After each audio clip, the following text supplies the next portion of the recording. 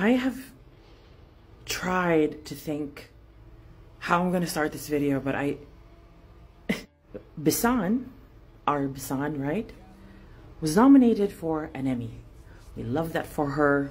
We want her to win, but most of all, we want her to go back to her home and live in peace in a liberated Palestine.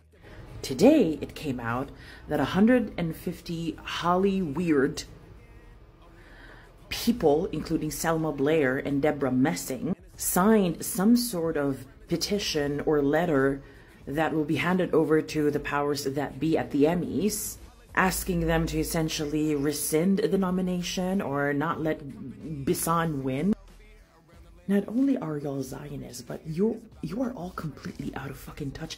Hollywood, Hollyweird, you have completely earned that name, like really correctly so. Imagine being in the comfort of your home somewhere in LA and signing a petition to essentially say, oh, I don't like that Palestinian being nominated for an Emmy. And Bisan is just like, I don't care about all y'all.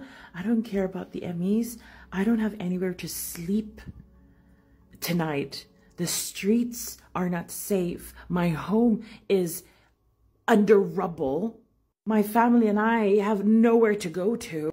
Bisan said she'd rather die because that would be better than being in her situation right now because she is in the middle of a freaking genocide. And Debra Messing and Selma Blair are signing petitions to remove the Emmy nomination. I just cannot.